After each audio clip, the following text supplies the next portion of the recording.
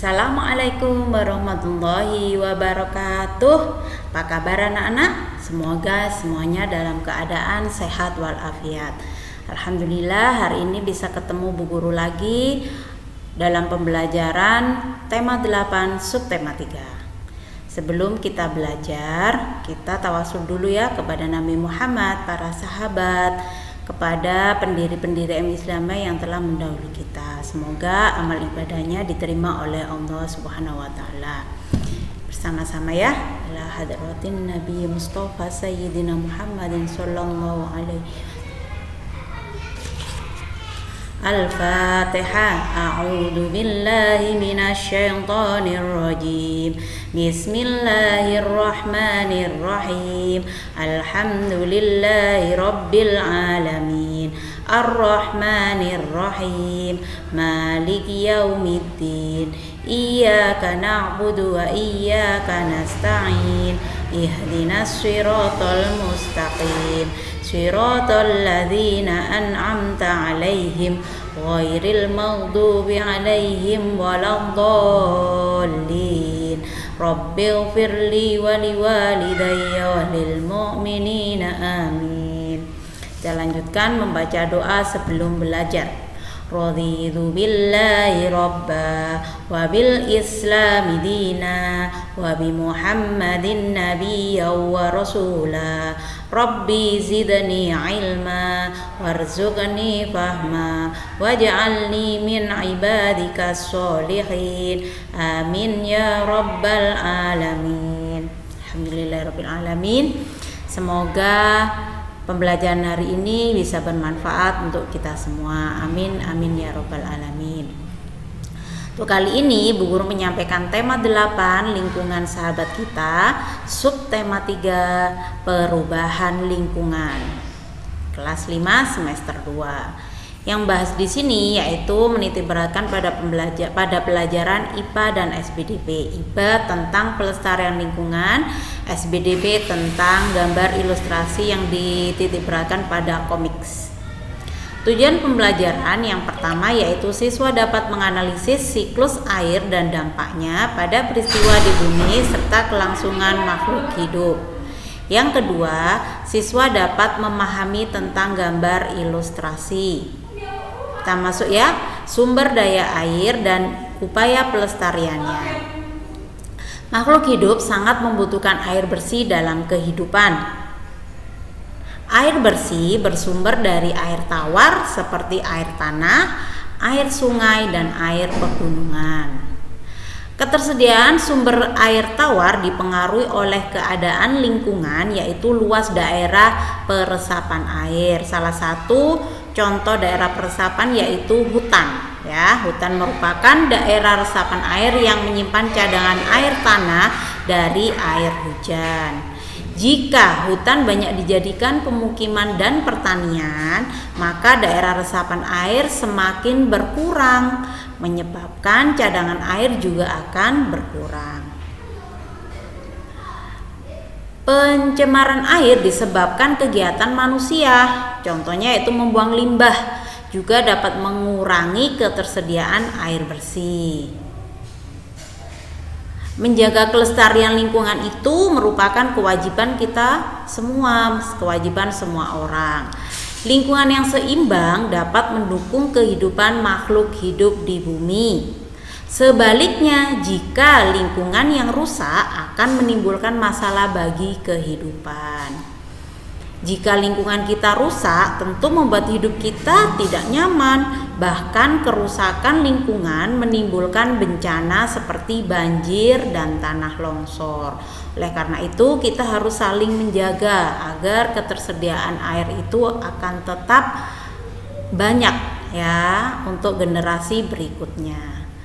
Apa yang dapat kita lakukan untuk melestarikan sumber daya air? Yang pertama, menambah daerah resapan air, misalnya tanah taman kota dan daerah pemukiman kampung pun semuanya yang biasanya di paving nah itu sepertinya yang juga menyebabkan ketersediaan air berkurang.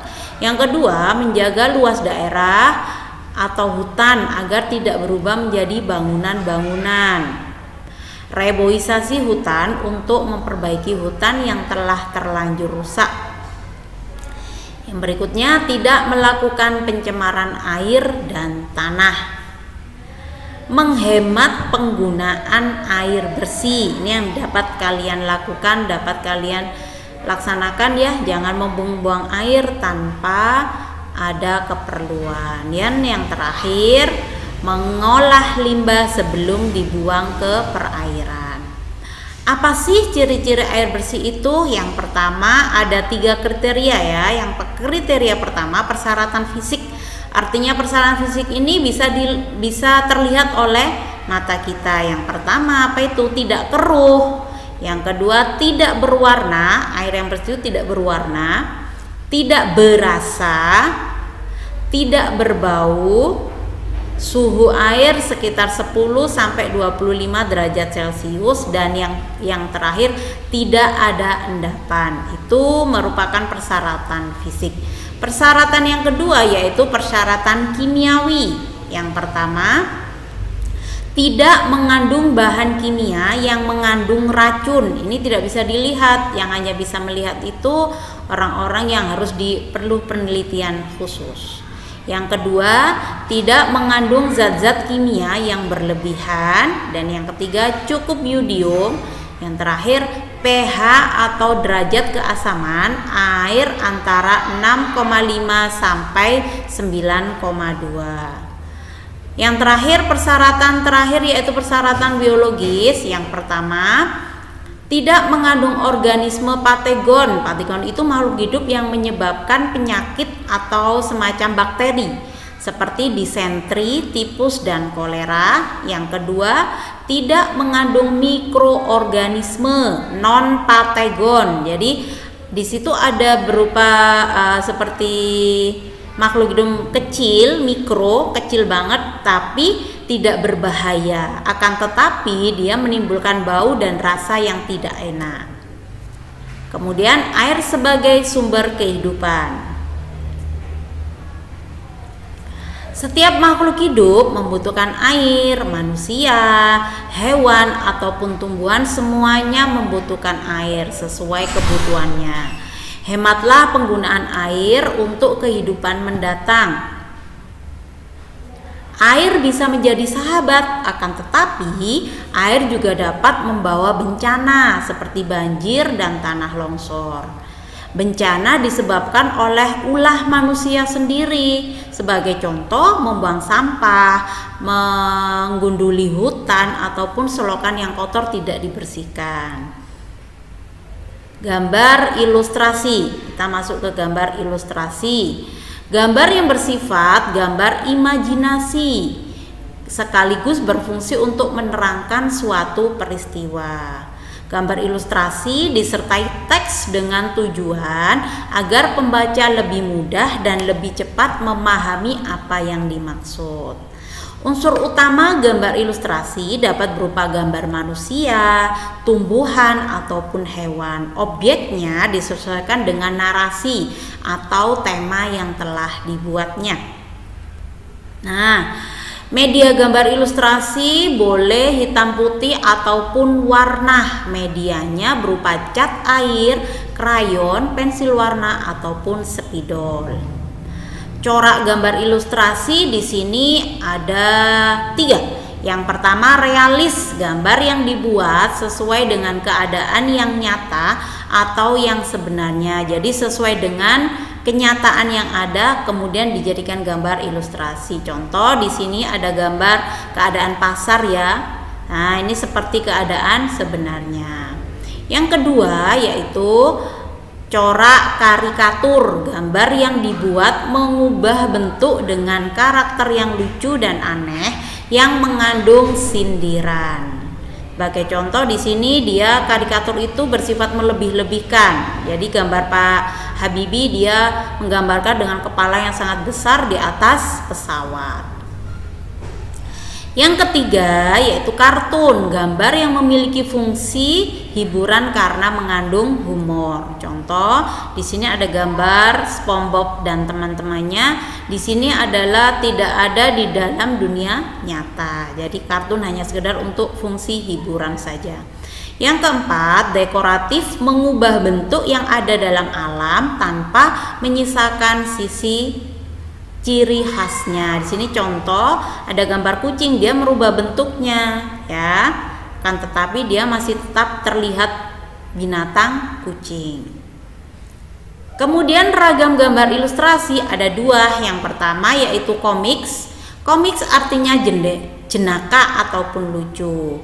Komik disajikan berupa rangkaian gambar di mana antara gambar satu dengan yang lain saling melengkapi. Yang kedua, cover atau sampul buku, kulit buku pada bagian majalah maupun buku. Gambar cover ini mewakili isi buku atau majalah tersebut. Yang kita bahas sekarang menitik beratkan pada komiks. Yang pertama, komiks merupakan salah satu ragam gambar ilustrasi Ciri cerita bergambar yang dilengkapi dengan teks dialog atau dialog e, balon percakapan yang terdapat pada masa, majalah, surat kabar ataupun dalam bentuk buku tersendiri. Gambar-gambar di dalam komik disusun sehingga membentuk suatu rangkaian cerita Yuk kita mengetahui cara-cara langkah-langkah menggambar komiks. Yang pertama, menentukan tema ya, berupa perjalanan, petualangan, persilatan, persahabatan, misteri ataupun cerita lucu. Kedua, membuat karakter atau tokohnya. Tokohnya memerankan tokoh yang memerankan cerita. Karakternya manusia, hewan, tumbuhan ataupun yang lainnya harus disesuaikan dengan tema. Yang ketiga, menulis urutan cerita, menuliskan secara garis besar urutan cerita, membuat cerita sederhana dan mudah dipahami. Yang keempat, menuangkan cerita dalam gambar membuat sketsa gambar dasar menggunakan pensil. Ada 2 sampai 6 kolom pada setiap halaman kertasnya. Yang kelima, gambar jadi. Setelah membuat sketsa, coretan-coretan gambar dasar kemudian ditebalkan dengan tinta dan dihapus goresan-goresan pensil tersebut. Ini contohnya gambar yang sudah jadi kan tetap nah ya jadi ada balon percakapannya di sini. Yang keenam, yang terakhir yaitu penwarnaan ya. Pewarnaan di sini disesuaikan dengan kenyataan yang ada atau pewarnaannya bebas, tidak terikat pada kenyataan yang ada. Ini contoh gambar yang tadi sudah diwarna, kan lebih cantik dan lebih menarik untuk dibaca ya. Nah, kita membuat rangkuman bersama-sama ya. Sumber daya air bersumber dari air tanah dan air sungai dan air pegunungan. Ketersediaan sumber air tawar dipengaruhi oleh keadaan lingkungan. Lingkungan yang seimbang dapat mendukung kehidupan makhluk hidup di bumi. Oleh karena itu, kita berwajib berkewajiban harus melestarikan sumber daya air yang ada di bumi. Yang kedua, gambar ilustrasi adalah gambar yang bersifat gambar imajinasi sekaligus berfungsi untuk menerangkan suatu peristiwa. Komiks merupakan salah satu ragam gambar ilustrasi. Komiks adalah cerita bergambar yang dilengkapi teks dialog yang terdapat dalam majalah, surat kabar ataupun bentuk buku tersendiri. Terima kasih, semoga bermanfaat untuk Bu Guru yang Bu Guru uh, Bu Guru sampaikan materi hari ini. Sebelum Bu Guru tutup marilah kita membaca surat Al-Asr bersama-sama. Bismillahirrahmanirrahim. Wal asr. Innal insana lafi khusrin illa illa alladhina amanu wa amilus solihati wa tawasaw bil haqqi wa tawasaw bis sabr. Walhamdulillahi rabbil alamin. Semoga bermanfaat Sawa ketemu lagi dalam pembelajaran yang berikutnya. Sampai jumpa. Wassalamualaikum warahmatullahi wabarakatuh.